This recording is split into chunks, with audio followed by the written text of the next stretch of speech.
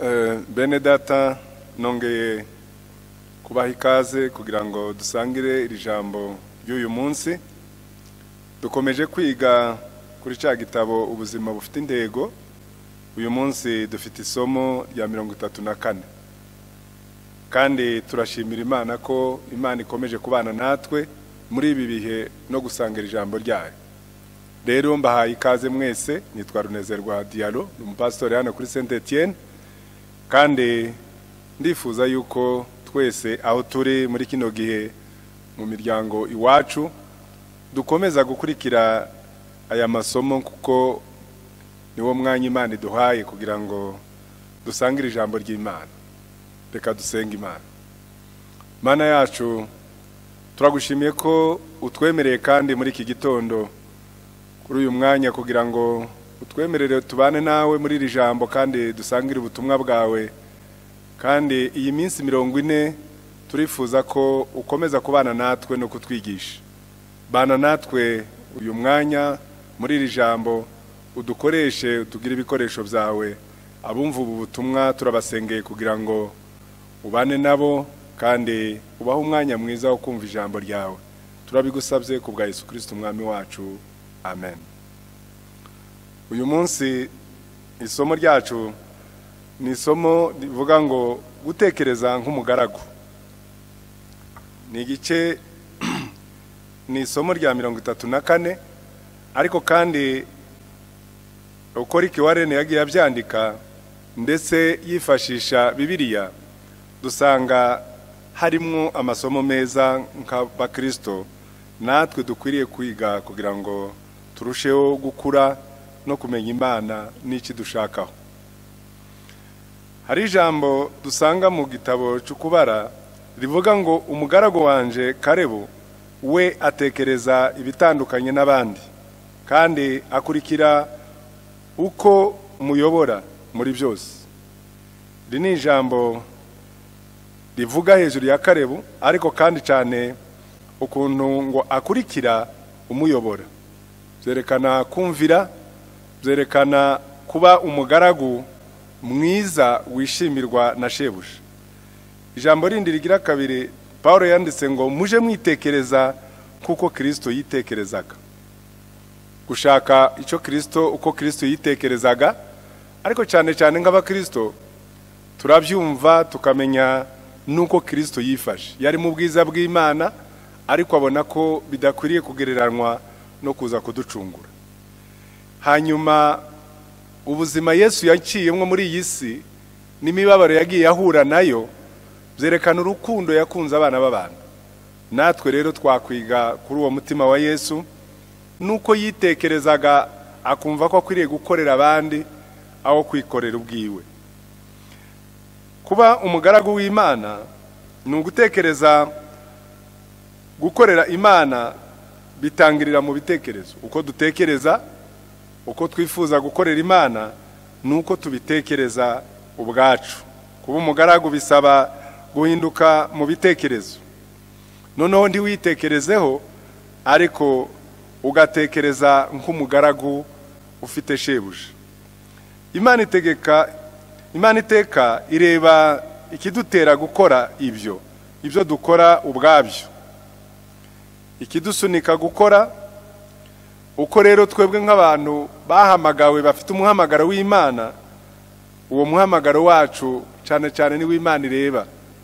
Ariko mu maso y'imana ibidukoresha bigira agaciro kuruta ibyo tugeraho.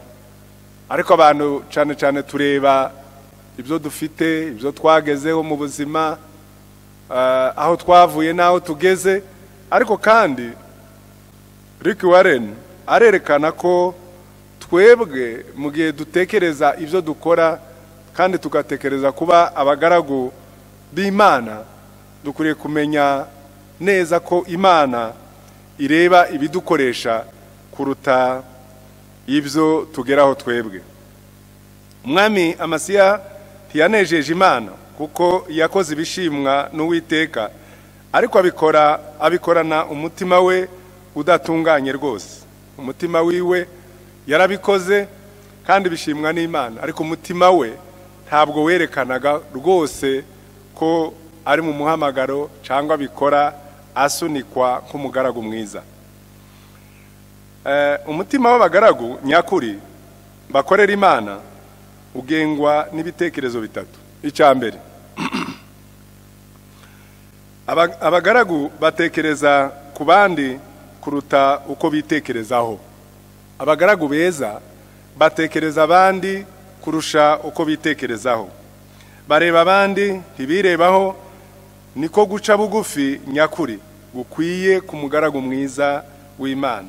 Si ukwitekerezaho ahubwo ni ugutekereza ni ukutitekerezaho abagaragu nyakuri bari bariyibagirwa. Bakorera abandi ntabwo bikorera. Ariko kandi imana irabibuka ikanabafasha ndetse ikabaha n'ibyo bakeneye.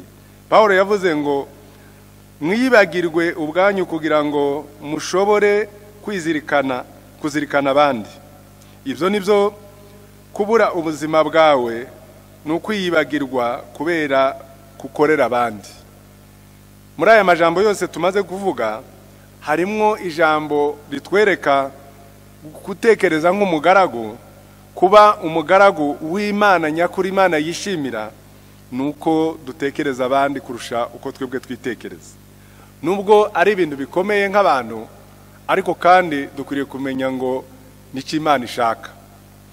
Iyo tutacita iyo tutacita ku bukene bwacu bwite ni bwo tubona ubukene bw'abandi. Na yesu ubwe yasize yisize ubusa ubwo yafataga akamaro k'umugaragu w'imbata. Yesu umwana w'imana yabaye imbata asa n'imbata akora nk'imbata ariko kandi kwari ukugira ngo akore aje muri uwo mwanya k'umugaragu w'im- w'imana ishimwe. Ni ryari uheruka kwisiga ubusa kugira ngo wite ku nyungu z'undi muntu? Tushobora kuba umugaragu iyo ucuzuye kwirebaho. Iyo twiyibagiwe ni bwo dutangira gukora ibintu bizahora byibukwa n'abandi ndetse n'abaza- n'abazadukurikira. Ikibabaje ni uko imirimo myinshi dukora iba igamije inyungu zacu bwite. Tugakorera abandi kuko dushaka ko badukunda cyangwa ko badushima cyangwa ngo eh, kugira ngo tugere ku ntego zacu bwite. Icyo ntabwo ari cyo. Iyo dukora tugakorera abandi tubatezemo inyungu zacu. Iyo dukorera abandi kugira ngo dushimwe nabo iyo dukorera abandi kugira ngo tugere ku ntego zacu ibyo ntabwo ari byo. Ni byiza ni uko dukorera abandi ntacyo tugamije harimo urwo rukundo k'umugaragu w'imana. Abagaragu nyakuri eh, ntibagerageza gukoresha imana ngo bigerere ku ntego zabo. Ahubwo barareka imana ikabakoresha ngo isohoze imigambi yabo. Iyo umuntu aza gukora umurimo utangira kureba ikizawuvamo umwanya uzawumaramwo icyo uzageraho icyo bizakugezaho.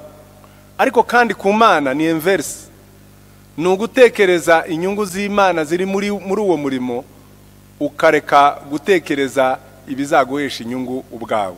Kandi uwo ni wo muhamagaro niko gusohoza umugambi w'imana idusaba. Umugaragu nyakuri eh, akwiye ku- kuba ari umuntu uzi icyo shebuja ashaka. Mu bantu bose paul yara- yarazi yavuze timoteyo wenyine ko ari we atangaho urugero rw'uwo muco mwiza wo kuba umugaragu w'imana. Niwe watekerezaga nk'umugaragu. Gutekereza nk'umugaragu ni ikintu gikomeye kuko gihabanye na kamere y'umuntu. Ubusanzwe ku bwa kamere yanje nirebaho. Kenshi mba ntekereza ibyanje gusa. Niyo mpamvu guca bugufi bihora ari intambara mu buryo bwo kwitwara k'umugaragu pura na byo kenshi ku munsi ku munsi. Nkaba ngomba guhitamo hagati yo kwita ku nyungu zanje cyangwa kwita ku nyungu z'abandi. Kutiyitaho niwo mutima wo kuba umugaragu mwiza. Ubwo rero wambwira ati ese umuntu yakwiyanga? Umuntu ni gute yabaho atikunda? Ni gute umuntu ashobora gukora umurimo adatekereza inyungu zawe?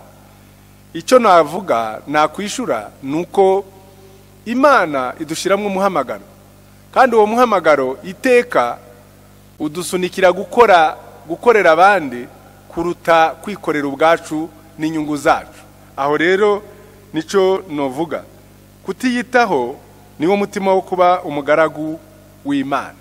Uko niko Rick Warren abivuga kandi niko abisobanura. Nushaka gupima umutima wawe w'umugaragu aho ugeze uje ureba uburyo wifata iyo hari ugufashe nk'umugaragu. Wifata ute iyo abantu batakwitayeho cyangwa bakagufata nk'umugaragu usuzuguritse? Icyo ni igipimo umuntu yirebaho.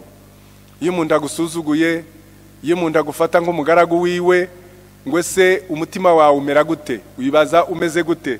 Icyo ni igipimo wakwirebaho uko wifata iyo abandi bantu bakwitwayeho bakubona nk'umugaragu wabo.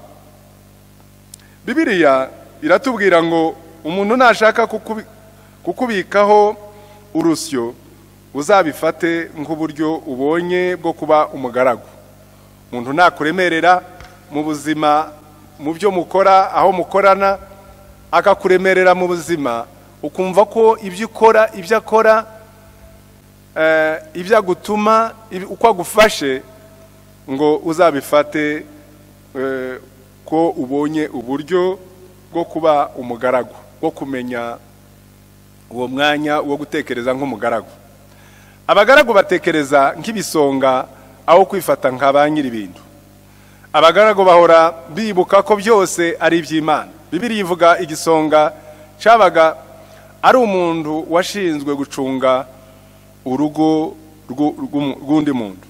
Igisonga iteka ryose bagifataga bibiri iravuga ngo bamufataga nk'umuntu ubikijwe urugo rw'undi muntu. Ubutunzi ibintu byose. Umuntu wiringirwa umuntu wizewe umuntu ubitswa byose byo mu rugo. Bibiri ivuga yosefu yari igisonga igihe yari afungiwe muri egiputa. Yari ashinzwe potifari yamushinze imicungire y'urugo rwe. Nyuma umukuru wa gereza amushinga ashinga yosefu kuba kwimucungira. Amaherezo farawo amushinga igihugu cyose kuba umugaragu bijyana no kuba igisonga kuko imana idutekerezaho kuba abiringirwa muri ibyo byombi. Kuba abiringirwa no kuba igisonga aho kwifata inyifato ushobora kuba ufite ariko urebye uru rugero rwa yosefu yosefu yabaye umwiringirwa aba igisonga cyiza bamubitsa ubutunzi kwa potifari hanyuma aba umukuru wa gereza hanyuma arongera farawo aramwizera amugira igisonga cyo kuba umukuru amushinga kuba amushinga igihugu cyose kuba umugaragu. Bibiri iravuga ngo ibisonga bishakwaho kuba abiringirwa kuri ba shebuja. Ese ubutunzi imana yatubikije ubukoresha ute? Ubutunzi ufite hari igihe twibagirwa nk'abakirisitu tukabwita ubwacu ariko ni ubutunzi imana yatubikije ni ubutunzi twebwe turi ibisonga by'imana. Kugira ngo ushobore kuba umugaragu nyakuri ugomba gukemura ibibazo ikibazo cy'imikoreshereze y'amafaranga mu buzima bwawe. Yesu yaravuze ngo nta mugaragu wakeza abami babiri. Ntimubasha gukeza gukeza imana n'ubutunzi. Ntimubasha gukeza imana n'ubutunzi. Ntabwo yari avuze ngo ntimwakagombye ahubwo yaravuze ngo ntimushobora. Kubera ko ariko tumeze kandi ariko duteye ibyo byose dukwiriye kumenya ngo ubutunzi bwacu ni imana yabutubikije. Ntibishoboka kureba gukorera imana kureka gukorera imana no kubera ko kugwiza umutungo n'intego zitari zo. Ese muri izo zombi urahitamo iyihe? Niba uri umugaragu w'imana tushobora gukorera imana ngo ugire n'igihe cyo kwiterera uturaka twawe. Kuko igihe cyose ufite n'icy'imana ushaka ko uyi- uyi- uyiyegurira burundu ntiyemera ko ubudahemuka bwawe ubwerekana. Ubutunzi ni cyo kintu kiza imbere y'ibindi byose gishobora gusimbura imana mu buzima bwawe. Abantu benshi bagi- bagiye bava mu nzira yo gukorera imana kubera gushaka ubutunzi kuruta indi mpamvu iyo ari yo yose. Hariho abantu batekereza ibitari byo. Ricky Warren yaravuze ngo bene abo baba bavuga ngo ni nibamara kugera ku ntego zabo mu by'ubutunzi bazaza gukorera imana. Ariko si byo. Icyo ni icyemezo cy'ubupfu bazahora bicuza iteka ritagira iherezo. Iyo yesu ari umwana umwami wawe amafaranga aragukorera. Iyo amafaranga ari umwami wawe uhinduka umugaragu wayo. Kugira ubutunzi ntabwo ari icyaha ariko kutabukoresha mu buryo buhesha imana icubahiro ni icyaha. Abagaragu b'imana bahora bahangayikishijwe n'umurimo w'imana kuruta kurundanya ubutunzi. Bibiliya irasobanutse kuri ibyo. Imana ikoresha ubutunzi ngo ipime ubudahemuka bwawe k'umugaragu. Niyo mpamvu yesu yigisha ku mafaranga kuruta uko yigishije ijuru cyangwa umuriro.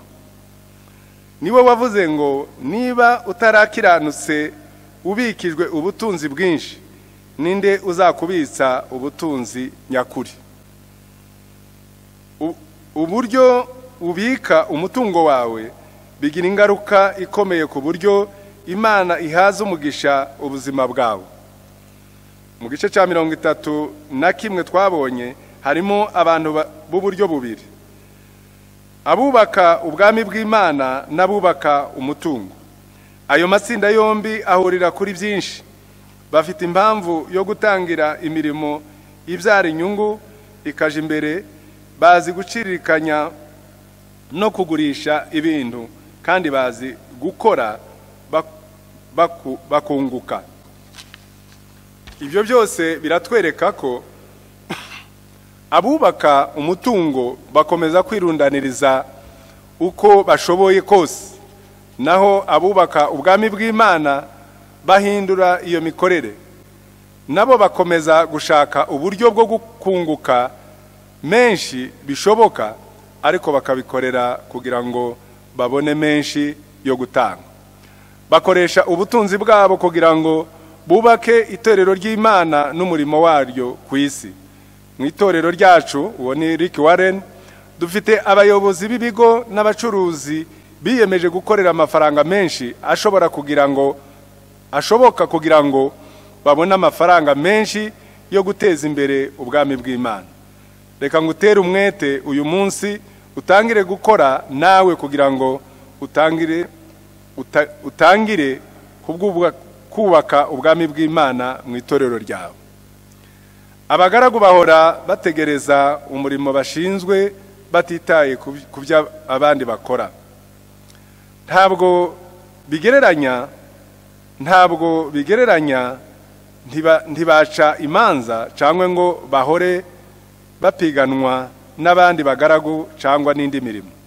Bahora bahugiye mu byo imana yabahaye gukora nta mwanya baba bafite bafitiye ibyo bindi. Kurushanwa hagati y'abakozi b'imana n'ibi- n'ibintu bidafite ishingiro kubera impamvu nyinshi. Icya mbere twese turi muri ekipe imwe intego yacu ni imwe yo guhesha imana icubahiro si twe tugomba kugaragara. Ikindi twahawe inshingano zitandukanye kandi buri wese yaremwe mu buryo bwihariye. Paul yaravuze neza ati ntabwo dukwiye kwigereranya nk'aho umwe ari mwiza. Undi akaba mubi. Hari ibintu bifite agaciro kuruta twakoresha iminsi yo kubaho kwacu kandi buri wese muri twe yaremewe mu buryo bwihariye. Abagaragu nyakuri nta mwanya babibonera. Iyo duhugiye mu gukorera mu gukora umurimo twahawe nta mwanya ubona wo kuja mu mu kun- mu kunegurana. Buri munota uta- utakara uvuga abandi washobora gukoreshwa uba ukorera imana. Ubwo marita yitotomberaga murumuna we amurega kuri yesu ko atari kumufasha umurimo yahise atakaza umutima w'umugaragu. Abagaragu nyakuri ntibitotomba ko batitaweho. Ntibagira umwanya wo kwirebaho no kwiba- no kwibabarira. Kandi ntibagira ishyari abatarimo abatarimo gukora. Byose babiha imana bagakomeza bagakora. Si umurimo wacu gucira imanza abandi bagaragu ba databuja. Bibiri yivuga ngo urinde uci- ucira umugaragu w'abandi urubanza. Umwami ni we uzemeza niba umugaragu wiwe yarakoze neza. Nta nubwo ari umurimo wacu kugerageza kwirengera iyo hariho abatuvuze nabi. Ja ureka shobuja akuburanire ukurikira urugero rwa mose. Yagaragaje icyitegererezo cyo guca bugufi igihe bari mu bamuhagurukiye. Na nehemiya yasubizaga abamuvuga nabi yoroheje agira ati ndakora umurimo ukomeye. Sinashobora kuw- kuwusiga ngo manuke mbasange. Ubwo ni urugero rw'abantu imana yagiye yerekana bari abagaragu bakoreye imana. Nuko nka yesu uje uhora witeguye ko abantu bazakuvuga nabi. Isi ndetse n'abantu ndetse n'abantu benshi mu itorero ntabwo bazi neza ibyo imana iha agaciro. Kimwe mu bikorwa by'urukundo byakorewe yesu cyangwa n'abigishwa be nuko igihe cyose bakubwira bihabanye n'imitima yanyu cyangwa se umutima wawe ariko imana ukorera nk'umugaragu wayo ukora ibyo ishima mariya yarifashe icyo yari afite yafashe icyo yari afite cy'agaciro. Amavuta ahumura neza y'igiciro cyinshi ayasuka kuri yesu. Icyo gikorwa cy'ubwitange abigishwa bakibonye ko bakibonye ko iwe yangiza ayo mavuta. Ariko yesu aramurengera avuga ko ari umurimo mwiza kandi ibyo byari bihagije. Ibyo ukorera kirisito byose ntabwo biba bipfuye ubusa kabone n'iyo abandi eh, babibona nabi. Abagaragu bashin- bashingira agaciro kabo kuri kirisito kuko bahora bibuka ko bakunzwe kandi bemerwa kubw'ubuntu gusa. Abagaragu ntibakenera kugaragaza ko bafite agaciro. Bemerana umutima ukunze imirimo ubundi igaragara nk'inzu nk'usuzuguritse cyane mu maso y'abakureba. Urugero rwiza rwo gukora bishyigikiye ku- kumenya neza agaciro kawe na yesu. Yesu yosanga yozaga ibirenge by'abigishwa be. Muri icyo gihe koza ibirenge byari nko gukora akazi katoroshe gasuzuguritse akazi gasuzuguritse muri rubanda nyamwinshi. Ariko kubera ko yesu yari azi neza uwo ari we ntabwo yumvaga ko ako kazi kamutesheje icyubahiro bibiri ivuga ko yesu yamenye ko se amweguriye byose kandi ko yavuye ku mana. Ahaguruka aho yariraga yiyambura umwitero we yenda igitambaro aragikenyeza. Niba we wiyemeje kuba umugaragu ubanze kumenya icyo uri cyo muri kirisito abantu bafite umutima uhamye nibo bashobora kuba abagaragu abagaragu. Abantu buzuye gushidikanya bahora bahangayikishijwe n'uburyo bagaragara mu maso y'abantu. Bahora batinya bafite intege nke. Bagaragara gutyo bagahora bihisha inyuma y'ibi- y'ibicocero by'u- by'ubwirasi- by'ubwirasiro kwiyerekana uko batari uko kugenda. Urushaho kugira gushidikanya mu mutima niko uzarushaho gushaka ko abantu bagukorera. Kandi niko uzarushaho gushaka ko bagushima. Hariho umuntu wavuze ngo nidushaka kugirira abandi akamaro. Tugomba kubanza kureka gushakira agaciro mu byo batubonamo. Nibwo tuzagira umudendezo wo kugira impuhwe ku bandi. Iyo ushingiye ah, ku gaciro kawe n'icyo uri cyo mu mibanire yawe na kirisito ni bwo uzahora uzahora ni bwo ubo- ubohoka ku byo abandi bagutekerezaho. Ibyo ukaba ari byo bigushoboza kubakorera neza by'ukuri. Abagaragu ntibakenera kumanika imidari n'ibihamya by'uburyo bwinshi. Batsindiye ngo berekane ko bakoze. Ntibahora bashakisha amazina mashya. Yerekana ibyo bari bari byo. Kandi ntabwo bambara ibishura byo gukomera. Abagaragu ntibashak- ntibashakira agaciro kabo mu byerekana ko bakomeye cyangwa mu byo bagezeho. Paul yavuze ngo ushobora kwiyogeza uko ushaka ariko gushimwa kugira icyo kumara ni ukuva ku mwami wacu. Niba hari umuntu wari kuja yirata aho avuka ndetse akaja yibutsa abantu uwo bavukana uwo ari we ni yakobo mwene nyina wa yesu we yari afite icubahiro cyo kuba yaravukanye na yesu k'umuvandimwe nyamara igihe yatangiraga kwandika urwandiko rwe yahisemo kuyita imbata y'imana n'iy'umwami yesu kirisito uko kugenda urushaho kuba hafi ya yesu niko kurushaho kudakenera kwiyamamaza. Abagaragu banezezwa gukora gukorera imana ntiba- ntibabibona nk'akazi. Bishimira gufasha abandi bakishimira gukemura ibibazo by'abandi no gukorera imana. Bakorera umwami banezerewe. Uko kugenda urushaho kuba hafi ya yesu niko kurushaho kudakenera kwiyamamaza niko Rick Warren avuga. Kuki rero bakora banezerewe? Kuko bakunda umwami wabo bakishimira umuntu bwe bakamenya ko ko gukorera abandi ari bwo buryo bwiza bwo gukoresha ubuzima bwawe kandi bazi ko imana yabasezeranije igihembo. Yesu yadusezeranije ko umuntu nankorera data azamuha icubahiro. Paul nawe yagize aya majambo avuga ngo tizibagirwa uburyo mwitanze muyikorera. N'urukundo mwayikunze. Mukagaragaza mwi- mwita ku bandi bizera.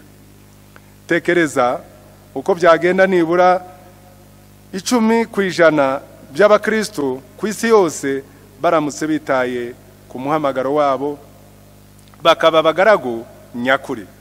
Ese wifuza kuba umwe muri bene abo bantu? Ntiwite ku myaka yawe. Imana izagukoresha. Nutagira nutangira gukora no gutekereza kuba umugaragu. Abanyamunezero nyakuri ku isi ni abantu bize kwita ku bandi. Mu kurangiza gutekereza nk'umugaragu ni ukumenya kwita ku bandi kutitekerezaho gukorera abandi nta kwirebaho u- ureka inyungu zawe no kwemera kuba umugaragu ukaba mu muhamagaro wawe. Umutima w'umugaragu ni ukureka imana akaba ariyo igutekerezaho. Ibipimo cyo kuba umugaragu ni ukwemera kuba igisonga cy'imana ukizerwa ukabiswa n'ubutunzi bw'imana ndetse ukamenya kubikoresha.